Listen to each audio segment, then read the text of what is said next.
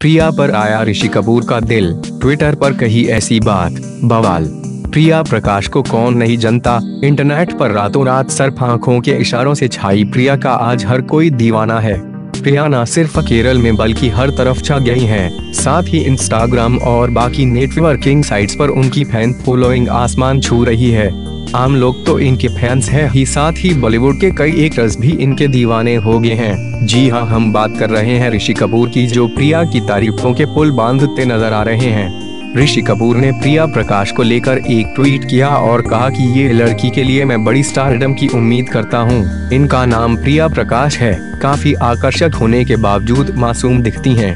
मे dear प्रिया आने वाले time में लोग तुम्हें देखने के लिए बेताब होंगे। गॉड ब्लेस यू मेरे टाइम में नहीं आई आप। क्यों? लाल।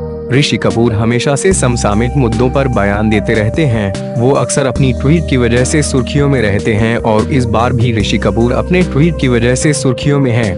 उनका ये ट्वीट धड़ल्ले से सोशल मीडिया पर वायरल हो रहा है। इतने बड़े सुपरस्टार की तरफ़ से तारीफों के शब्द सुनकर शायद प्रिया प्रकाश भी खुश और प्रोत्साहित होंगी।